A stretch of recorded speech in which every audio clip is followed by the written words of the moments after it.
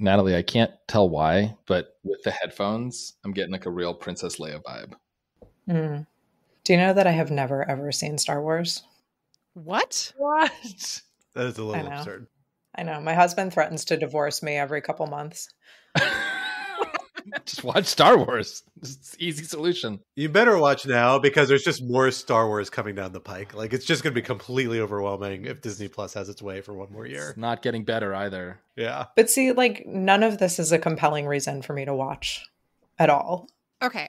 I will say, I think the original series, if you understand it as like space Wizards. western B Space wizards. movie, it's fun. It's just like it's a good watch. It's entertaining. You can laugh at the spe- the corny special effects. You know, It's not They're sci-fi. good practical effects, Quinta. They're good practical effects. They're good. But just the key is to understand that it's it's not science fiction. It is fantasy in space, and uh, the first two and a half movies are excellent. And then uh, just never watch any Star Wars content ever again. That's the key. Oh wow. Okay. I will fight you. I will fight you on the Last Jedi. And Rogue One is good. Rogue One, yes. Rogue Rogue, One One, is good. also good. Andor, I've been enjoying it. Rogue One is good, but Rogue One is not so good that it makes up for the extra 75 hours of mediocre content that is now part of the Star Wars expanded universe. That's fair. You The price we paid stuff. for Rogue One is a lot. That's fair. See, the That's reason fair. to continue not watching Star Wars is that I've been able to accomplish so much while you guys went down your little rabbit hole of Star Wars was gonna say, conversation. Does, does this make any sense to you at all? I, I, I like that Alan thought your hangup was going to be the distinction between fantasy and sci-fi. Where Alan's like, you just, if you just focus on the fact it's fantasy, not sci-fi. Well, okay, yeah. I'll, I'll fight you on That's that not too, the man. There's there's soft versus hard sci-fi. That's a thing. I think de- denigrating fantasy is like lesser is silly. so first of all, first of all, no one here is denigrating fantasy. Mhm. I am enjoying my Mhm. Tolkien. I'm you said it's just my- wizards. Well, I, what I'm no, no, no. Here's here- first of all, first of all, you know, hmm we need a Patreon exclusive disc- discussion of this. There's hard sci-fi and soft sci-fi. This is not soft sci-fi. This just isn't sci-fi. It's not speculative fiction. It's fantasy, and the problem is that it pretends to be sci-fi Dude, when it is fantasy not. is speculative fiction. It says first line, Alan, a long time ago in a galaxy far, far So it's away. not tr- historical. it is historical, if anything. It's pretty express. I'm so angry right now. I'm just Guys. so angry. Lost the argument. That's why I get it.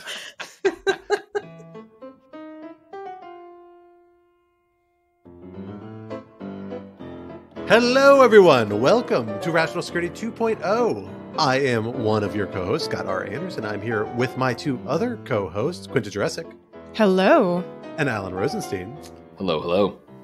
And we are thrilled to be joined once again by our unofficial fourth co-host, Lawfare Executive Editor Natalie Orpett. Natalie Norbit Orpett. Natalie, thank you for joining us here today. I'm so glad we've had the opportunity to get to know each other well enough that you could pronounce my last name. Only on the fourth No, try. I, I got it right. I forgot your nickname, which was established on the podcast. You know, you got to stick with the canon uh, sort of view of, of the history of the Natalie Orpett character, Natalie Orpett I think that's fine. Well, thank you for having me. Absolutely. We're thrilled to have you on for what we are calling the Escalatory Alan edition because Alan is coming in hot so far from what we can tell today. We expect him to continue that angle, joining Tyler in the hall of aggressive coworkers. it is not my fault that Star Wars is not sci-fi. I'm just, I'm just, I guys, I'm just saying the truth. I'm just, I'm just here asking questions. You're- I'm you're just- I'm very just a guy rational. Asking questions. Yeah. exactly. Mm, actually, you we're gonna have a whole other podcast on this, guys. Just don't worry. If you'd be interested in hearing a whole other podcast on this, let us know in the Twitter feed, and we'll see what we can do. For now, though, we are gonna stay focused on our usual beat, the national security beat, because there are a few stories coming up in the news this week that are worth discussing in that particular zone. Topic one. That's one, one disqualified elector. Ah, ah, ah, ah. Maybe not my best accent. Um, both the House and Senate finally seem ready to reform the Electoral Count Act, the, the ambiguity ridden statute that has kind of governed how Congress counts electoral votes since 1887. What threats to our electoral process will these reforms fix? Which will they leave unaddressed? Topic two is a big week for weird voices. It's no longer a me, Mario. Recent elections are set to replace Italian Prime Minister Mario Draghi with none other than Giorgia Meloni, the leader of the far right Brothers of Italy movement. What does her victory mean for democracy in Italy and across Europe? And topic three Narcnado.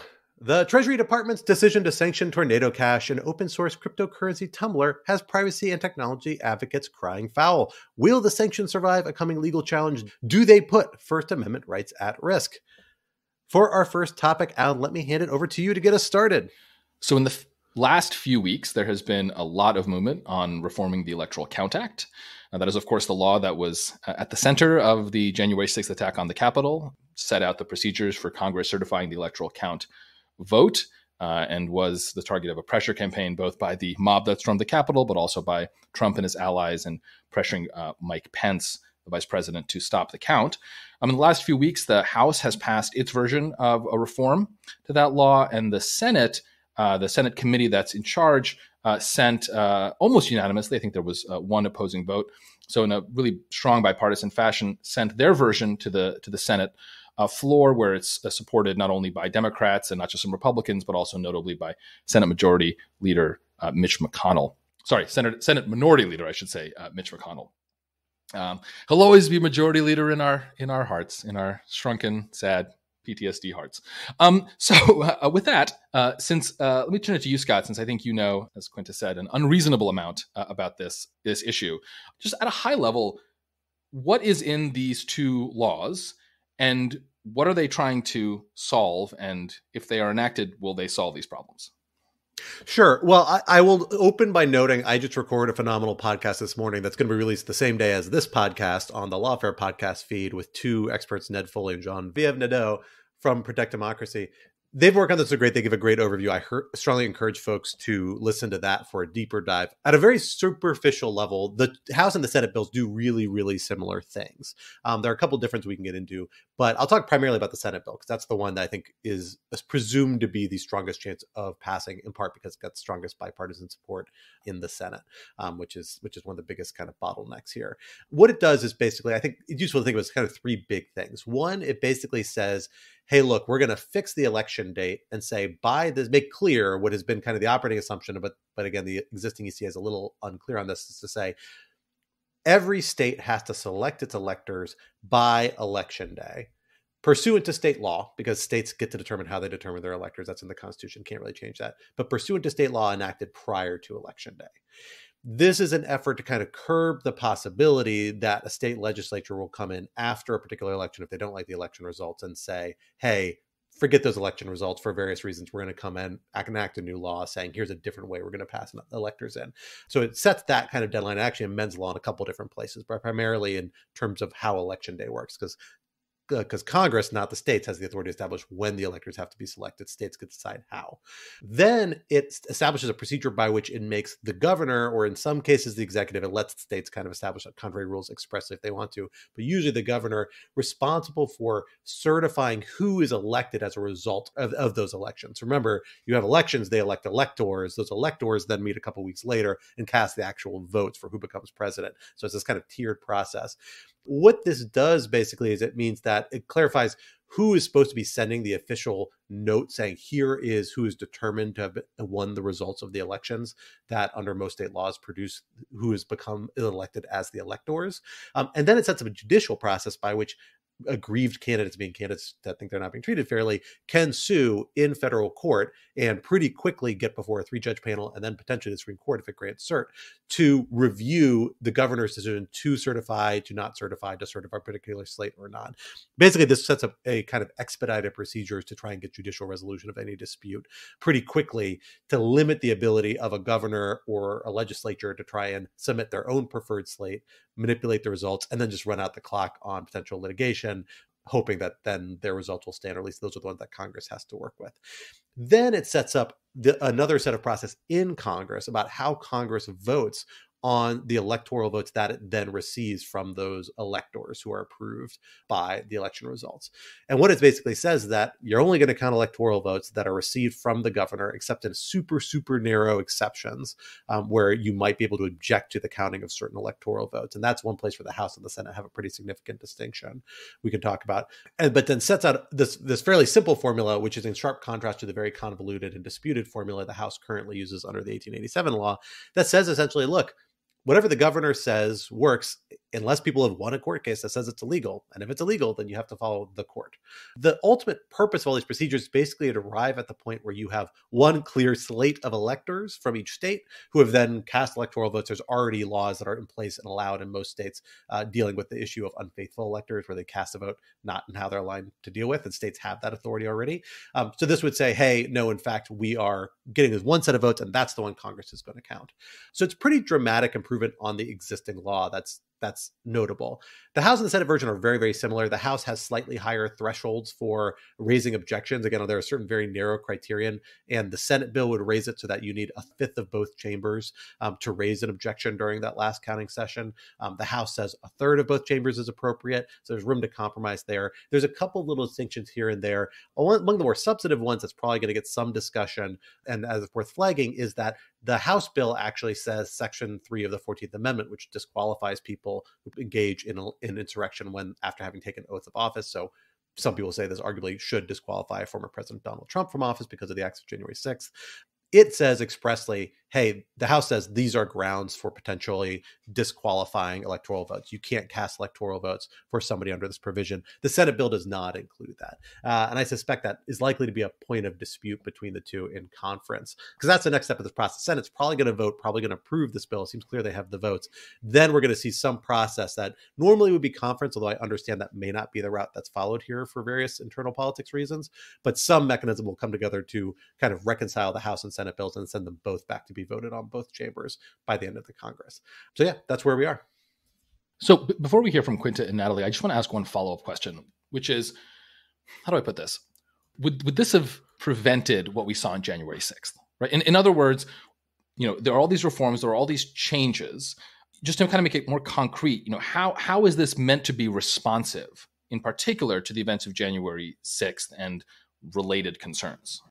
So it wouldn't so much have prevented what actually happened on January 6th as prevented a lot of things people talked about and in some cases tried to make happen on January 6th. So we had arguments being pursued in different corners saying, well, look, maybe the Pennsylvania state legislature can just appoint its own slate of electors and send those in, right? And then we had cases of saying, well, maybe Vice President Pence can just say, nope, I'm I have responsibility under the Constitution for counting these things. I'm going to count them my way. And in those cases, this law would make it, make it much harder for those arguments to proceed. It'd be clearly contrary to statute. There's actually in both those cases potential constitutional hooks people could still bring forward, but certainly it'd be a, it makes it harder, legally more challenging um, to make those sorts of arguments. The one thing maybe it would do, I think it actually would pretty effectively do, is the multiple slates of electors. We have, saw a lot of people try and send in a lot of states, or actually not state governments always, sometimes just groups of Trump supporters sending in alternate slates of electors. Concerned citizens. Concerned Scott, citizens. They, they prefer exactly. the term concerned citizen. Who are now under criminal investigation in many cases for being quite so concerned. Exactly. Uh, so this would have clarified which you know which slate should be counted. In this case, none of those slates were improperly counted. So again, it's not clear anything really happened, but it would make it even clearer that efforts to interfere with this process like this really have no basis. So in that way, it's really intended to make sure things proceed kind of as they did on January 6th, while taking away a lot of the ambiguity and uncertainty leading up to that process that had people so concerned. Well, I think one other way it may have made some difference, and of course, it's hard to tell how much, but because the threshold for actually objecting to ele- electors is higher in both versions, albeit higher in the House version than the Senate version. I mean, part of what made January 6th proceedings take so long was senator a, a, senator and a representative getting up and saying i object to this state and then having to have debate over it and to adjourn. And the proceedings wouldn't have taken nearly as long, which may or may not have had anything to do with people having marched over to the Capitol and had the time to invade and stay on premises for a long time.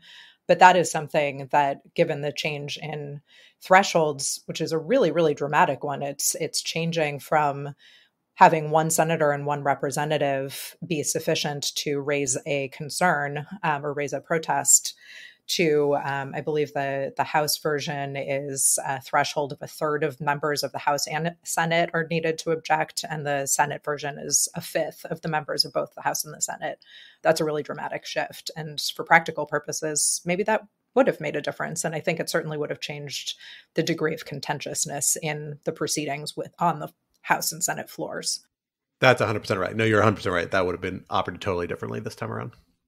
I also think it's important to understand how a clearer ECA on the subject of what counts as a it's a failed election and when a state legislature can appoint its its own electors just as a kind of freebie would have potentially clarified a lot because some of what you saw in the wake of the election was state legislatures and republican or in swing states really uh, republican state legislatures in swing states saying hmm, looks like there was a lot of fraud here. We're just going to go ahead and do this our own way. Or, you know, we have the the sort of alternative slates of electors coming in. Then that was used as an excuse by the senators and representatives objecting in Congress. Some of that reasoning on the part of the state legislatures traced back to, uh, I think it's fair to say, extremely bizarro version of the independent state legislature theory, which is a very complicated subject we don't have time to get into here, but the Supreme Court will be hearing a, a case about it, um, Moore v. Harper, which we've discussed before. Now, I think it's important to understand that I don't think there's any chance that the court will endorse this version where the state legislature can just do kind of whatever the hell it wants. But I do think that clarifying the regime under which all of this is happening makes it harder to use that kind of ambiguity to advance extreme and bizarro legal and constitutional arguments. Now, of course, they could still, you know, if you really wanted to, you could still go out there and say, like John Eastman did in 2020, well, screw it, the Electoral Count Act is unconstitutional because it's intruding on the power of state legislatures. But at that point, you kind of force the person making this argument into, you know, it's quite clear at this point that that is a, a, extreme and probably wrong argument and so i do think that just like narrowing the the space of confusion and ambiguity there is a, a real service. I will also say i i am been pleasantly surprised at how likely it seems that something is really going to happen here especially given that you know, Mitch McConnell uh, sort of abandoned efforts to hold Trump accountable so quickly. Um, certainly, I don't forgive him for that. But if the the Senate really is going to be able to pass something along these lines, I think that is, you know, it doesn't solve everything, but it's a huge step toward limiting potential chaos in 2024. And worth noting, both uh, Senator McConnell and Senator Schumer are co-sponsors of the Senate version, so it has very high level institutional buy-in from both parties. And the Senate side, House side, almost partisan vote, technically bipartisan. I think nine members of the Republican members of the House ultimately supported the bill. None of whom will be in office after this next election. I believe that's right. So to this point that that both Quinta and Scott have have raised, that this has quite a lot, perhaps a surprising amount of bipartisan support, at least in the Senate. Why do we think that is? I mean, you know, one thing that's notable in today's American politics is that there's very little room for bipartisan cooperation, and especially where it touches on Trump. Because of course, the moment anything touches on Trump, you know, with one tweet, or I guess they're not tweets anymore; they're they're truths. I, I just I hate I hate calling them that. That's why they call them that. yeah, that's exactly right. Yes, yes, uh, yes. With with his uh, social media postings, he can sic the base on on any Republican that he wants, and one would imagine it, that you can't talk about Electoral Count Act reform without talking about January 6th, and you can't talk about January 6th without talking about the attempted self coup that uh, Donald Trump tried to commit. And yet, at least again in the Senate, there does seem to be a real path here. Uh, w- what explains this? So, if I had to take a, a guess at it, you know, I think it's two things. One, the Senate has really kept this very low profile. We have really seen a very conscious effort by Senator Klobuchar. Uh, Suzanne Collins has been involved. A number of kind of bipartisan coalition, pretty from the outset, um, has really kept this pretty quiet. And has been working on this pretty much throughout this entire Congress. We actually had a conversation early on about how disappointing it was that um, we weren't going to see we hadn't seen much action on democracy reinforcing things af- other than you know the initial democratic bill that got voted down in part because it it never really had any meaningful bipartisan support. This measure has always been the thing that's been churning around in the background to some extent, building a coalition of support. And I think part of the reason also is that they're waiting this long to do it and even now keeping it relatively quiet when they rolled it out it was a bipartisan proposal in the senate um, the house really held off on rolling theirs out until after the senate proposal was out and kind of on its way and even then frankly they like rolled it out and voted on it a few days later. I think to limit debate and limit opportunities, frankly, for people to get kind of hyped up or make it look more divisive than it is. I think they played the politics around this very well. They waited until you know the moment when it's politically easiest and rolled out the way it's politically easiest for folks to get on board. Uh, but notably, Trump and his supporters are reacting negatively and are particularly targeting McConnell and others um, for their support of this bill, which they oppose. So it, we may yet change. I, I would also note, I I just think that you know senators are less beholden to the Trump impulse than members of the House are. They're less contingent on short term fundraising. Frankly, some of them have been around at this point, like long enough to remember what the Republican Party was like before Donald Trump kind of took it over. Uh, they have longer political cycles. They have stronger independent bases of support. They're elected by whole states, which actually makes a big difference because they're just generally more diverse uh, and less polarized electorates as opposed to gerrymandered House seats.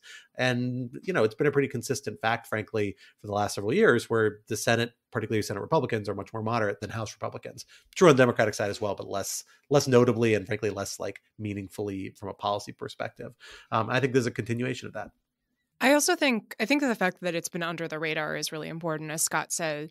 I also think that like this is really complicated and frankly kind of boring and technical that is not a, a, knock on any of the many fine people who have been working extremely hard to make this happen because I do think it's it's very very important. But it's kind of hard. It is kind of lawfare sweet spot: boring, technical, and crazy important. Exactly. But so it's it means that it's kind of hard to not impossible, but more difficult to getting people mad about it or you know having like a really incendiary fox segment like it just takes time to explain um, and I, I do wonder whether that now that January 6th is farther in the rearview mirror, you know, that it's just harder to kind of wrap people's heads around it and gin them up, and that that gives the Senate sort of more more space to actually get stuff done. I mean, I do think it's an irony of the kind of post-Trump reform space that it seems most possible to do things when Trump is farthest uh, and no one is paying attention, frankly. Yeah, and I think the other thing that's beneficial about its being sort of an esoteric conversation is it's also represents an issue that is sort of a, a separation of powers and a, a, way for Congress to act in a somewhat more united fashion to represent its own institutional interests, right? It's these this law would clarify Congress's role with respect to states and also with respect to the executive because it's clarifying the issue that had come up or was attempted to come up um, in the 2020 election, which was whether or not the vice president has authority to do some real damage in a process that, you know, most people believe rightfully belongs to Congress. So it is a way in which, somewhat under the radar, as Quinta says, Congress can can unite to represent its own institutional interests. From anticipating complicated elections in the future at home to regretting some complicated elections in the past abroad, maybe? Or something about fascism. Something about fascism. Let's go with the fascism one. Fascisti. The nation of Italy is saying ciao bella to a new prime minister this week, uh, or not this week, later this month, uh, as we have seen elections produce the head of a fairly right wing, by including some very far right wing members coalition in Italy's government, headed by Giorgia Meloni, the head of a right wing movement that is very interesting, has ties to kind of the aftermath of the Mussolini's party in Italy, built on an ideology that in part is rooted in things like Tolkien fantasy and project using it to help build a concept of uh, the nation state and nationality. I don't know how exactly, and I'm very curious. If anybody's dug into it, I, I would love to hear about it. What what is there? What is the platform on Harfoots versus Hobbits? That's what I want to know. What do they think about sci-fi? Exactly. exactly. I, honestly, I do. I do worry that I feel like on the question of whether or not there can be elves of color, they're going to take the very regressive and wrong position. That I'm pretty certain. do not be on Italian message Reddit boards uh, when oh, Rings of Power God. Comes out in Italy. It's going to be a disaster. Um, uh, that said, they uh, have and now are getting ready to enter power, and she's drawing a kind of interesting line. She's both moderated certain instincts of her kind of coalition and her party. Uh, particularly, she's not vocally anti-support for Ukraine. Uh, she's actually quite vocal in support of Ukraine, although parts members of her coalition are not. Among other issues, also the European Union. She's critical of it, but no indication of in any intent to leave it. So she's striking kind of an interesting figure, and she's got a very precarious hold on power. She was primarily elected because you saw the left and the center left parties really splinter, unable to form and maintain the coalition that's kind of kept them uh, in power recently and and uh, kind of for numerous times in recent years.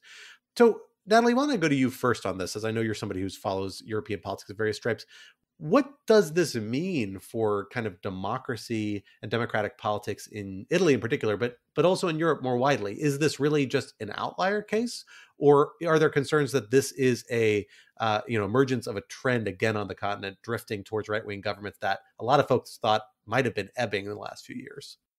Yeah, I think it's an interesting question, and I'll give it an uninteresting answer, which is I think it's hard to tell. Um, I've seen some analysts saying, you know, this is really much less about the Italian people sort of adopting a rightward turn in a in a sense that represents a Europe wide phenomenon and is instead the Italian response to the fracturing of the left and showing disapproval for the former dominant right party.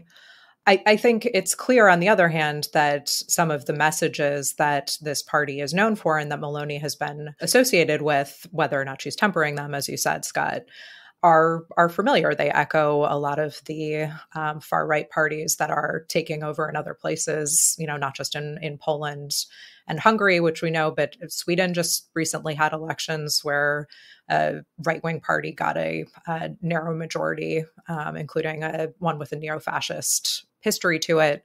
So there is something certainly a play, and the messaging in in Europe, frankly, on the right is is also reminiscent of what we're hearing here in the states.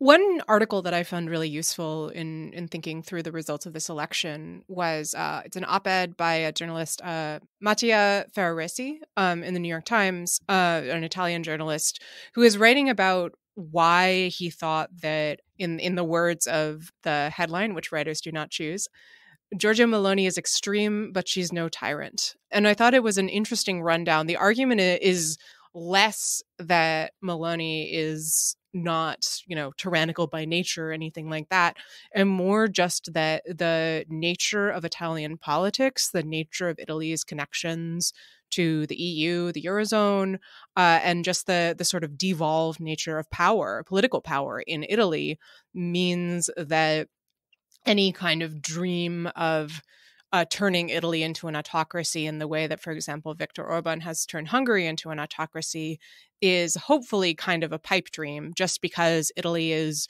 too enmeshed with the international community. Power is not something that you can sort of hold on to in quite the same way. I don't know an enormous amount about Italian politics or the Italian political structure, but I, I do think that, that that was interesting and it, it gets to an important point that I've definitely thought a lot when it comes to Trump of, you know, when these figures come to power, a lot depends not only on the, their particular nature and the nature of those who push them into power, but also on the particular systems and structures that are around them and the extent to which they can be controlled or limited by those systems. Uh, just one quick statistic that I enjoyed that uh, emphasizes your point, Quinta. Italy has had 11 governments in the past 20 years you know, there are people that like novelty. That's okay.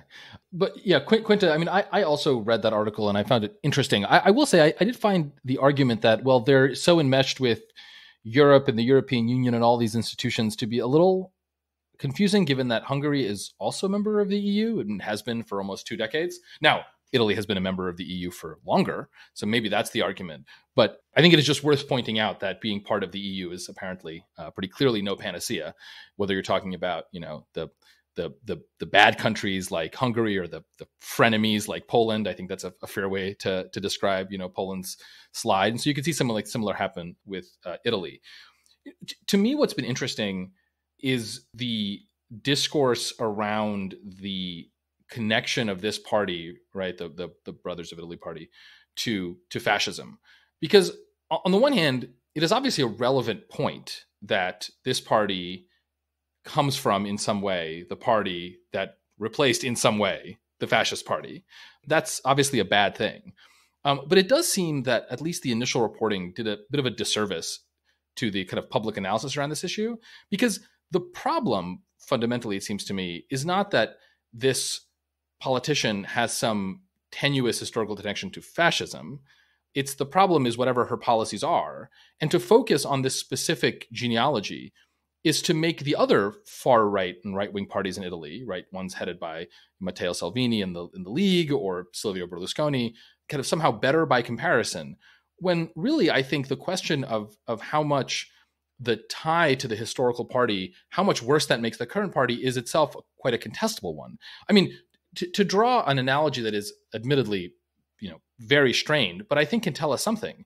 You know, one of the interesting things about American politics is that, of course, the Democratic Party, which is not only the left party in America, but is arguably the only small d Democratic Party we have left right now, at least one that is thoroughly small d Democratic, itself comes directly right? It's not even a different party, formally institutionally speaking, right? It's still the same party that 150 years ago seceded from the Union, right? You know, still a party that in some parts uh, of America celebrates Jefferson Jackson dinners. Now, obviously, the Democratic Party changed enormously and flipped essentially 180 on the key racial issues uh, in American history. But I think it's still worth reflecting on the fact that the genealogical argument that X party is bad because it stems from historically this other party that was bad can only get you so far. And while I would prefer a world in which everyone voted for the center left, because that's what I would like everyone to vote for, if you're going to have a pluralistic society in which you're going to have people on the right, maybe there are situations in which the easiest path is to somehow domesticate and defang parties that used to be extremist.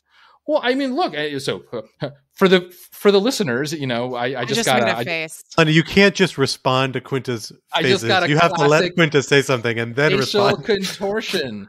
But you know, but look, if if in 1860 you you told someone that 150 years from now, right, you're going to have the Democratic Party was going to run the United States, would be led by a black man, and was going to be the only pro democracy party, they would have thought you've gone crazy. So I'm just saying, I'm just I'm just a guy asking questions. I'm just a guy asking questions.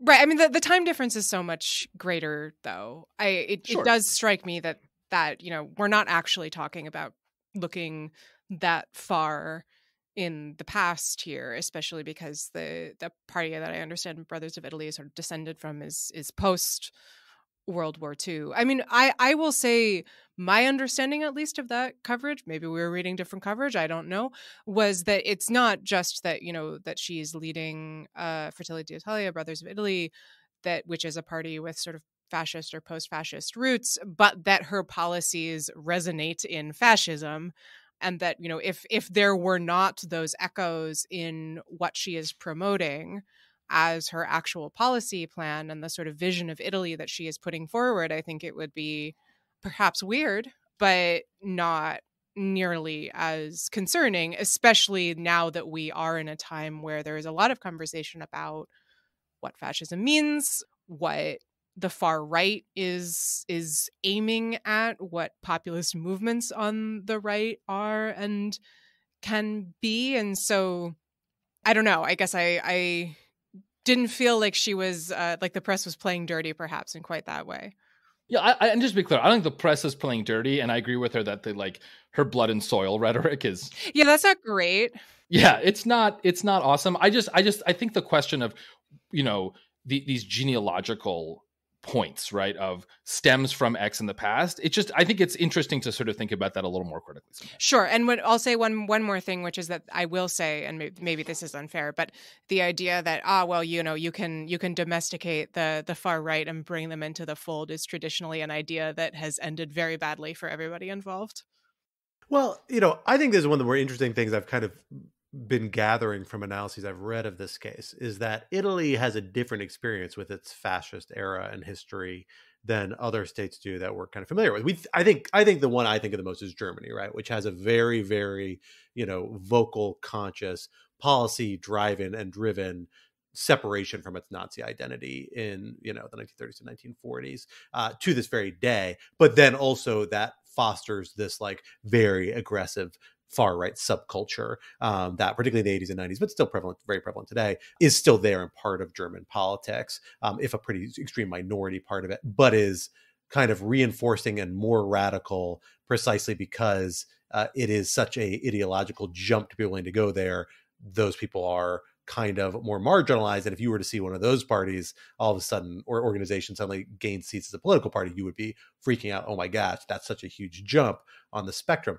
Italy doesn't seem to have quite been that way. Italy just seems more kind of comfortable with his fascist past. Uh, Mussolini, the Yascha Mounk has this interesting article. I guess he's got family in Italy or family home in Italy, uh, where he made the point that like he walked into his local gas station, they were selling lighters with pictures of Mussolini on it, and he was like, "That's kind of weird." And the guy was like, "Yeah, yeah, but don't worry, next week they're sending us some with Che Guevara on it." And I was like, "That's a really interesting anecdote," which is kind of funny. Both sides. Horseshoe yeah. theory of of bored young people. Yeah, but it but it was it was and he actually said it was like the corporate headquarters had sent these over to sell. So that's what their marketing says we should be selling. And but it's kind of interesting because it really does kind of indicate that like these symbols, these ties don't have that sort of repellent or weight to them that we might ascribe to them, certainly as outsiders, or that we might expect from looking at the German case and to like a lesser extent the Japanese case. I think I'm less familiar with that, but still, it, it seems to me more in the German direction than the Italian direction, where people say like we didn't like that, that was bad, but might not have such a guttural sort of reaction to it. And then if you think about it that way, you're like, well, yeah, this party has these weird ties uh, to Mussolini's movement, but this woman who's now spearheading this every got election cut off a lot of the policies or moved away from a lot of the policies that are most discordant with the kind of political consensus currently.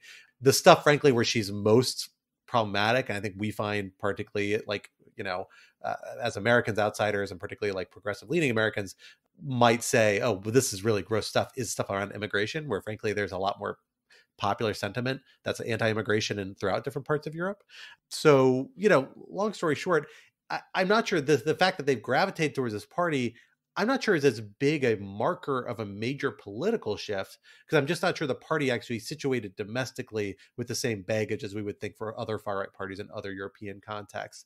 And that turn may mean that it's easier to shift away from, which may not be the case. You know, if we thought there was a, a uh, election of like a Nazi party in Germany. So just to so, so just to sum up, uh, the Italians may have elected a fascist who's really into Tolkien. Two thumbs meh.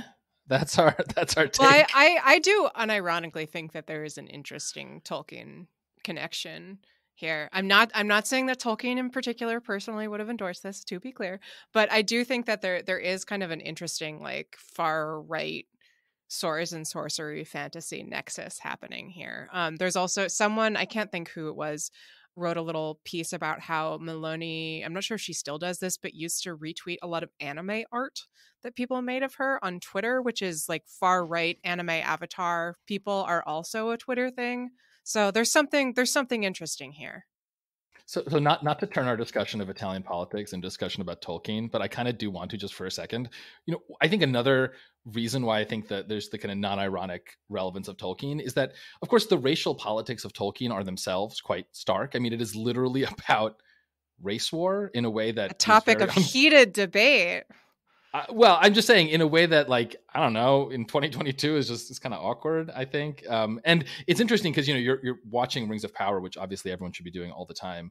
You have a situation where there's still that element to it, but of course they're trying to diversify the races internally themselves, and so you have this interesting situation where the the series is fighting against itself.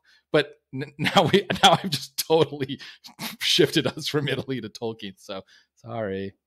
I, I, have something extremely nerdy to follow up on this about, which is I am not watching Rings of Power because I am not actually that big of a Lord of the Rings fan. But I did re- recently reread a novel called Unseen Academicals by Terry Pratchett, which is spoilers uh, about an orc who is redeemed and redeems himself, and I would recommend it as a take on orcs. Do, do you not like do you not like Tolkien because it's hard sci-fi? Is that is that your objection? I mean, it kind of is the hard sci-fi of the fantasy genre, but this is a conversation for another time. It is not the hard sci-fi of the fantasy genre, but that's there's fine. all the songs. I am the winner of the podcast today. This has gone okay. way off the rails, guys. Sorry, Natalie. I think it is time to move on to our third topic. Quinta, why don't you bring us back to the national security realm from realms near and afar? Yeah, I don't I don't have a transition from spinning topics to spinning cryptocurrency assets. Yeah, let's go with that. There we uh, go. from Italian politics to something that makes even less sense. Mm, mm-hmm, to something that's even more decentralized. Hey, Hey. decentralized and chaotic. Uh, Nice. So, yes, as we are referencing, uh, the Treasury Department, uh, the Office of Foreign Asset Control, recently announced that they are sanctioning uh, Tornado Cash, which is apparently the technical term as a virtual currency mixer, which sounds to me like, you know, like a drinks get together. Uh, I understand that that is not, in fact, what it is. Um, it is a platform for people who are using cryptocurrencies, um, and that there is some manner in which you can essentially use it to anonymize the the route by which you acquired money. I think that is an accurate description. Please do not yell at me. So the the decision by the Treasury to sanction Tornado Cash comes after uh, there was a great deal of press over uh, the use of the platform to launder, uh, according to Treasury, more than seven billion worth of stolen virtual currency since 2019, including a great deal of money stolen by a hacking group linked to uh, North Korea. So I think there are a lot of interesting questions here, and some of them have been raised on Lawfare, including uh, by one Nick Weaver, contributing editor with the great, wonderfully titled piece uh, "OFAC Around and Find Out." But there's we've also uh, run pieces by authors suggesting that there might be First Amendment concerns here, insofar as if Tornado Cash is sanctioned, there's no one who sort of is tornado cash it is decentralized by nature at that point ha- is what you sanctioned the code itself and if that is what you have sanctioned have you you know in, intruded upon the first amendment insofar as you might argue that the code is is speech. So scott i want to turn it over to you first. I'm curious for your sense of how novel this is and also like what it means to sanction kind of a decentralized tool in this way. I can't remember ever seeing something quite like this before, but maybe I just haven't been paying attention. It's a really good question. I actually was having a conversation with a good friend of mine uh, last night about this topic, preparing for the segment, who who works in the crypto space, and he asked this exact question: "Is like, are there any precedents for this in U.S. sanctions?" And I can't think of a clear one, although I wouldn't be surprised if there were one. Mostly because the International Emergency Economic Powers Act (IEEPA), the statute that presidents use to set up economic sanctions, and a variety of other kind of economics-related policy regimes, is used super widely and has been used in a lot of different ways since it was enacted in 1977. Not all of which uh, I have a complete grasp of. I know a lot of it, so I'm surprised I can't think of a clear parallel. Uh, and so I'll be impressed if someone else does, but it might be out there, and I'd be curious folks to know. But what I will say is, I I don't think this argument, which appears to be the basis of a legal challenge that Coinbase is bringing forward, really holds together, at least on the statutory level.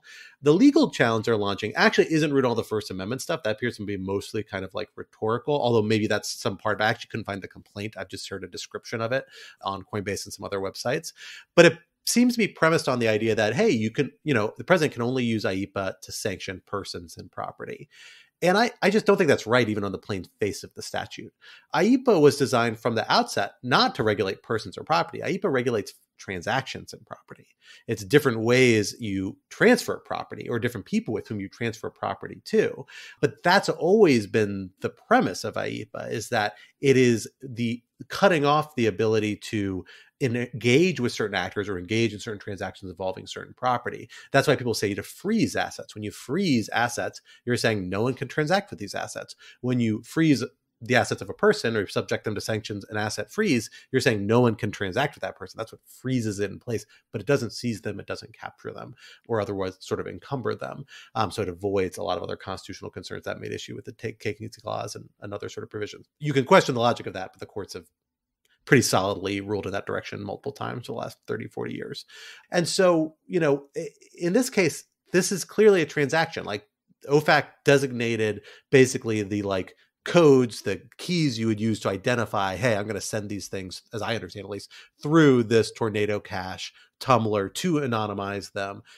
That's exactly what they have sanctioned people from doing. So authorities wise, it doesn't seem an issue. There may be a point in terms of how the regs interact or how the executive order that's premise interact. The executive order does speak in terms of persons, uh, and regs generally, like most sanctions, are applied to persons or property because that's just the easiest way to do it and communicate it to people.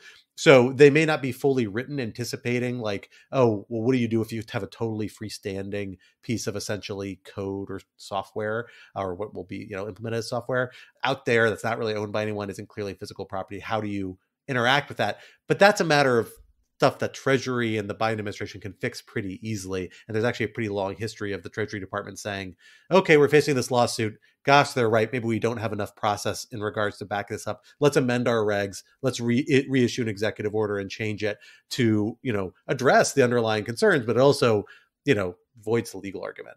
And in the end, I, I think IEEPA, this is pretty clearly consistent with. So I have trouble imagining any legal challenge actually invalidating so much as compelling Treasury to maybe update and amend some of their administrative regs and other authorities.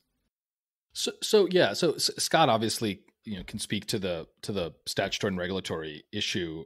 I think I can address a little bit some of the, the chatter we've been hearing, including on Lawfare, about whether or not this move by Treasury potentially infringes on the First Amendment. And and I think part of the concern stems from I think partially maybe a misunderstanding of what it is, what the sanction actually does. Right, as as Scott points out, it's not sanctioning code because it's not even clear what that means. It's sanctioning certain activities, and now those activities at some point use computer code, but that by itself does not necessarily raise any First Amendment issues. And, and I think that then gets into, I think, a confusion that you see in lots of debates. You know, you see it in this debate. You've seen it in debates over encryption policy. You've seen debates constantly about the nature of code under the First Amendment. And often it is the debate is presented as this question of is code speech? The implication being that if code is speech, then anything that involves code, the creation of code, the deletion of code, the restrictions on code, um, therefore triggers the First Amendment uh, and imposes strict scrutiny and all of that. And so, so this is, I think, incorrect. And I think where this confusion comes from is um, the 1990s cases that from which people get this idea that code equals speech. So I, I wrote a review article a few years ago that uh, has a couple of pages on this, and so I'll, I'll, link to that. But the kind of very short version is, um, in the 1990s, there was this guy Bernstein who uh, invented this cool cryptographic system, and he wanted to share it with people. And at the time, cryptographic systems were really locked down uh, under national security export laws, and so the government said you cannot send around either the program that does the cryptography, and you can't even send around the source code. Um, and he said, but I want to send it around because this is how I communicate with my fellow computer scientists and show off and all this sort of stuff. And so he sued in the Ninth Circuit. He was represented by EFF, the Electronic Frontier Foundation, one of the currently leading digital civil rights organizations. In fact, his lawyer, Cindy Cohn, is now EFF's uh, director. And as those cases went through, at some point, this very kind of the district court in this very fractious or fractured opinion of the Ninth Circuit held that everything he did is fully First Amendment protected because code is speech. And, and ever since then, people, the EFF and other digital civil liberties people have cited this proposition. Now, the tricky thing about it is twofold. First, for complicated procedural reasons, the opinion was actually mooted, or rather, the, the Ninth Circuit granted rehearing en banc, and while that was happening, the government backed off, which therefore mooted the opinion, and therefore these opinions don't actually exist anymore in the Ninth Circuit, so technically they're not precedential. But more importantly, they were addressing a very specific context, and the code is speech conclusion that people draw from it is oversimplified. Because really, if you read the cases carefully within the context, what they're really saying, and this is definitely true, is that just because something is source code doesn't mean it's not speech, right? Which is to say that the question of whether or not code is speech um, is an open question, and it depends entirely on whether that code is being used for expressive purposes or not. So if the code is being used to communicate computer scientific ideas with your colleagues, yeah, it's definitely speech, right? No question. If the code, however, is just being used to run a computer and that computer is doing something non expressive, there's no way it could be speech. And in fact, we wouldn't want it to be speech because everything runs on computer code, in which case, everything the government regulated would be a regulation on speech and the whole thing would fall apart. So the, the point here is just to emphasize that code is not always speech, code can be speech. And a debate about whether code is or is not speech is almost never useful. It's almost always entirely irrelevant.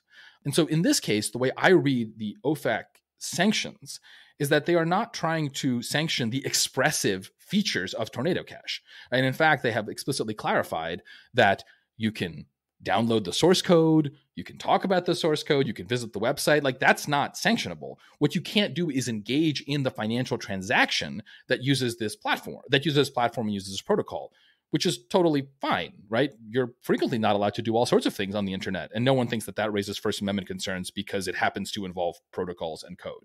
So, again, my, my only point is I don't know if the sanction is good or bad. I have no opinion on Tornado Cash or any of this. But this, there is no First Amendment issue here, uh, and injecting the First Amendment, I think, just confuses issues.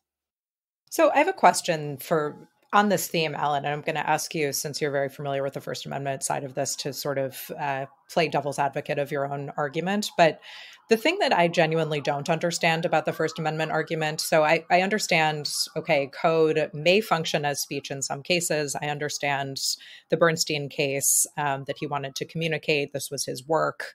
And I understand the difference here being that you know the the code in this case and for the the reason for which it is the subject of, of sanctions is because of the functionality that it is creating that is this weird disembodied functionality that's not you know a, a, human being that's on the other side of it but because of the nature of the technology it is not as proximate to a human being but is rather controlled sort of in a self-perpetuating way um, but has this function of being able to jumble currency and therefore obscure the identity of the people putting it in and taking it out.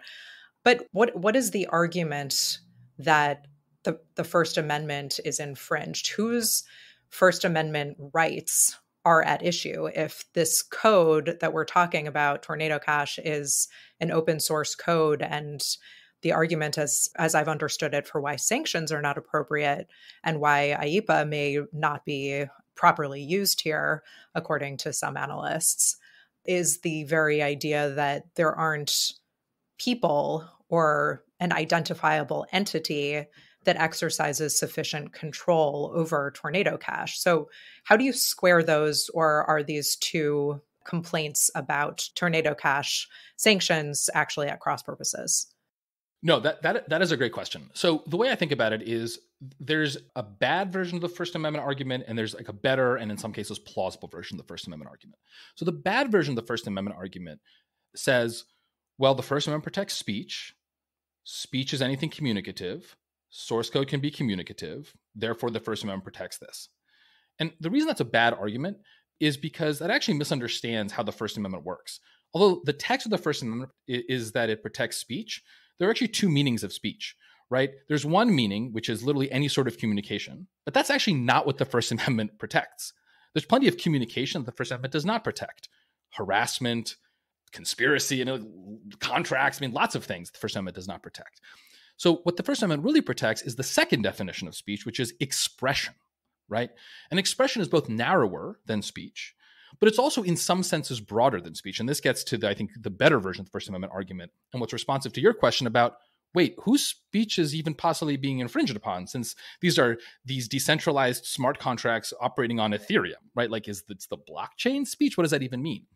And in fact, this is, although it sounds weird to say that you can have a First Amendment claim where there's no specific speaker, that's actually not really a problem in the law because the law has recognized that one thing that the First Amendment is trying to protect is not just speakers, but of listeners, or which is to say, people who exist in the communicative environment that some sort of expression might create. So, this is why, for example, the editorial decisions of large platforms, even if they are encoded in algorithms, right? To call back to you know some previous discussions we've had on the Lawfare podcast and this one, why they can still be First Amendment protected, even if it's like it's well, it's not Zuckerberg speech, and calling it Facebook speech is a little weird because Facebook is this like company and they're not a person. So if the argument was what the smart contract Tornado Cash is doing on Ethereum is enabling speech, right? Then yes, you could make that argument that a sanction has some second order effect on that and that's a problem. But I don't think that's the argument that is being made here. Like, no one is arguing that there's some legitimate expressive purpose to criminal money laundering. What they're arguing is the much more formalistic and I think much less compelling, and I would even go further and just say incorrect argument that because code is involved, and this is in some sense a restriction on code, right? It's restriction on sending various, you know, uh, strings of zeros and ones across a network. Therefore, the First Amendment is implicated. That that's what's wrong about it. It's not the problem with the argument is not that that there's no identifiable speaker. That's actually not always a First Amendment requirement. I'll also add to that just one thing specifically in the sanctions context. You know, obviously, just because something implicates First Amendment protected speech doesn't necessarily invalidate it either. Um, there's like a variety of approaches courts take to this. In the sanctions context, the case law is not favorable. Uh, the core case law upholding the application of sanctions, particularly to U.S. persons who have constitutional rights or the ability to test these First Amendment rights, comes from a line of cases where after 9 11, the federal government sanctioned a bunch of Islamic charities and basically froze their assets and had a lot of people very legitimately come forward and say, not unlike the various innocent people who claim their assets are stuck in tornado cash come forward and say, I'm a faithful Muslim. I gave zakat legally obligated donations that I'm required to give as part of my faith to this charity that are now stuck in these sanctions. Can I have them back to get them somewhere else? Can I channel them elsewhere? And on top of that, there's a pretty well documented effect over several years of those sanctions really chilling a lot of ability of people to engage in that sort of religious behavior and other sorts of religious expression, also clearly protected by the First Amendment. First Amendment challenges of sanctions failed across the board. So, you know, I I don't love that. I think that's actually a problem, particularly in that free exercise context, the religious uh, behavior context. Um, I'm a little less troubled by it here because I do think the First Amendment line is is much more tenuous for the reasons Alan laid out. But at a minimum, it means you're really running uphill if you're going to rely on any of the case law in the DC Circuit uh, or the Second Circuit, other places, Ninth Circuit, where there is this case law to help you. It's not running in your direction. Um, so that's part of the reason why I'm, I'm fairly skeptical of these legal challenges having much much success.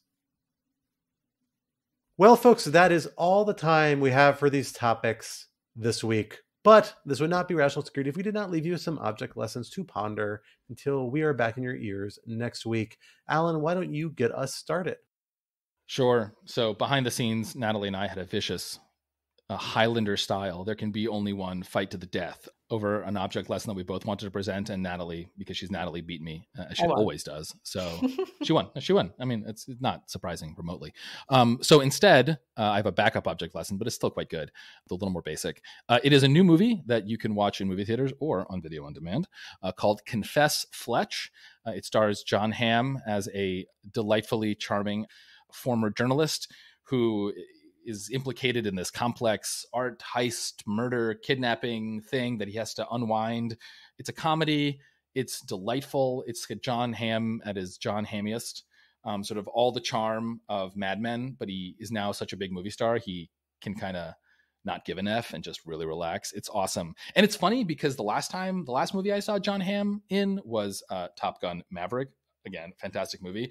And it's like one of the very few portrayals of jon hamm as a giant tool like I didn't know Jon Hamm could come across as a gigantic tool. He's very good as a gigantic tool in Black Mirror. Yeah, and he actually is really good He's as kind, a, of a tool of in Mad Men, guys. If you, yeah, if and, he is, and, and he is also a, a, tool in the very his very very funny appearance in Thirty Rock uh, as handsome but dumb as a rock. Uh, so maybe maybe Jon Hamm just is a giant tool. Anyway, I love Jon Hamm. It is a very basic take of mine. So he is phenomenal. It's a really fun movie. Highly recommend it. You get to watch him be handsome and charming for 90 minutes. So how can you say no to that? Confess Fletch on a Roku box near you. So I, I must confess, I started this movie and I turned it off because I didn't enjoy it very much. But now you have inspired me to Ooh. try it again. Because I do like it. But what I will say is that you should watch the original Fletch movie from 1985 with Chevy Chase, uh, which was the first adaptation of the Fletch novels and is hilarious and phenomenal. And Chevy Chase, despite being, let's be honest, pretty bad person, in his prime and phenomenally charming and hilarious in that movie. I do recommend that, and it's I love it so much that I'm willing to come back and try this movie again on your recommendation, Alan. Meanwhile, Quinta, what do you have for us this week? Um, my object lesson is also about jerks. Uh, it is a book that I am halfway through and I'm enjoying a great deal called uh, "Servants of the Damned" by David Enrich, who's a uh, I believe a financial reporter at the New York Times, and it is about everyone's favorite big law firm, Jones Day. Um, so it's kind of telling the story of how Jones Day became Jones Day, the giant behemoth that it has become today, um, the uh, favorite law firm of the Trump administration, among many other things. Um, and so, as I've kind of queued up, it's a story, the way that Enrich writes it, about this law firm kind of losing its way morally. Um, but it's also a, it's a, about the rise of big law as an enterprise and the legal profession.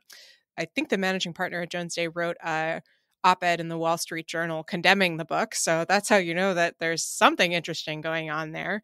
I've found it very interesting so far, although I have not yet gotten to the Trump years. So recommended. I I'm excited to finally see Big Law be the subject of investigative books like this. Uh, for my object lesson this week, uh, I'm going to split out and do two because one, uh, last week I released a very big uh, project I've been working on for a very long time that I encourage people to check out.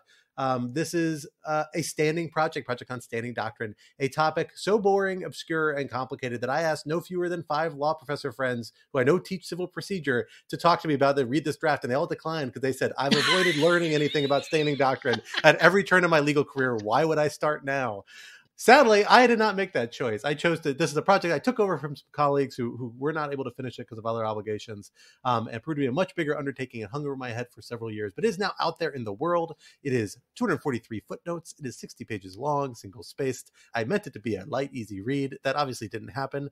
But in the world of standing doctrine, I actually think that is kind of a light and easy read, uh, and it might be a useful introduction to the topic uh, and digs down some interesting directions it has gone. Um, so I encourage folks to check that out, particularly if you're a policy person, because uh, I do think my goal with it was to try and illustrate how standing doctrine actually really matters for implementing federal policy of various stripes. Uh, and hopefully it captures that and maybe points to some possible solutions Congress and other folks could consider uh, if they were inclined in certain cases, uh, particularly problematic contexts. My other object lesson, and this is a sadder one, is that Loretta Lynn died today. It's really sad if you haven't heard. Uh, country music superstar. She is kind of like uh, you know the the badass country woman, uh, country singer that was like kind of like you know down. She had the records banned from the '60s on songs that they wouldn't play on the radio because they were considered like a little too uh, not necessarily dirty, but a little too critical and a little too out there. She's a fascinating figure, uh, a woman whose music I really started digging into the last like 10, 15 years or so. And while I'm not an expert, I'm not really a country music fan generally. Uh, there's some really, really phenomenal tracks out there. Um, so yeah, I memorialize her to say RAP Loretta Lynn. I'll encourage people to check out I think it's an easy point of entry, and I do actually think it's a phenomenal album, even though it's a little cliche to recommend it. Uh, her album with Jack White, Van Lear Rose, that came out in like 2004, maybe uh, I can't remember exactly, is really phenomenal. And there's a song in there called Portland, Oregon, that is, I think, a great rocking song, and it really uses all her country vocal talents to awesome rocking effects. I think it's a great point of entry to a lot of stuff. I'll encourage folks to check that out. Natalie, you are bringing us home. What have you got for us? So, my object lesson that I have wrested from Alan's control is an amicus brief in the case before the Supreme Court by the title Novak v. City of Parma, Ohio. And this concerns a gentleman who was arrested after having created a parody Facebook account um, mimicking the City of Parma's uh, police department and got in trouble for it and um, was actually charged with an Ohio State crime, ultimately acquitted by a jury, but still suing. The amicus brief at issue, which lest your eyes have glazed over by the prospect of reading amicus briefs for the Supreme Court, is written by the um, very reputable news source, The Onion, is a delightful read. It is about 15 or 16 pages, uh, so you can get through it quickly, but it is very enjoyable. Um, and I think actually did a pretty good job of arguing its point, um, which is that it is absurd to create a rule that requires someone to explain that their parody is parody because that defeats the purpose of parody. So, benevolent dictator that I am, um, Alan, why were you going to pick this as your object lesson? It's just really funny. it is extremely well written. I'm a simple man who loves to laugh. It is a delightful read. I totally agree. So I'm really impressed by this firm that helped them write it because it's both like well done, professionally put together, and hilarious. So I want to hire that firm for my next thing. But also, did you see the footnote though? The the first footnote goes no counsel for any party authored this oh, yeah. brief in whole or in part, and no counsel or party made a monetary contribution intended to fund the preparation or submission of this brief. Because everyone's like, please, please let me appear in front of the Supreme Court. what I will say though is remember this is a uh, amicus brief in support of a petition for cert, meaning if they grant cert, we may get a merits amicus brief out of these folks. So there's another one coming down the pike. So write your local Supreme Court justice, encourage them to vote for cert today, and we'll see if we can make this happen. Which would be great because the underlying case is about qualified immunity. And as we were pointing out, qualified immunity is ripe for parody. And is particularly bonkers in this particular case. Well, wonderful, folks. That brings us to the end of this week's episode. But remember, Rational Security 2.0 is like its forebear, a production of Lawfare. So be sure to follow us on Twitter at RATL Security and be sure to leave a rating or review wherever you might be listening. And while you're at it, visit lawfareblog.com for our show page with links to past episodes, for our written work and the written work of other Lawfare contributors, and for information on Lawfare's other wonderful podcast series. And be sure to sign up to become a material supporter of Lawfare on Patreon for an ad-free version of this podcast and other special benefits. Our audio engineer and producer this week was Cara Shillenn of Goat Rodeo, and our music, as always, was performed by Sophia Yan. We were once again edited by the wonderful Jen Patja Howell. On behalf of my co-host Quinton Allen and our special guest Natalie Norpit Orpett, I am Scott R. Anderson, and we will talk to you next week. Till then, goodbye.